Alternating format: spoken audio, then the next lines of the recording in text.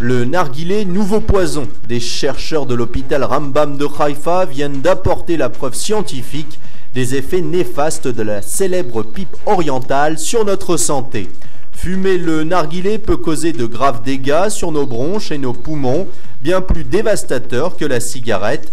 Selon la professeure Léa Bentor de l'hôpital Rambam, le niveau de nicotine contenu dans un narguilé équivaut à 10 cigarettes et le niveau d'empoisonnement est égal, rendez-vous compte, à 100 cigarettes. Sous couvert de ses odeurs et parfums en tout genre, le narguilé paraît être le substitut idéal à la bonne vieille cigarette. Il n'en est rien, le narguilé est bien plus nocif et possède donc des effets bien plus mortels.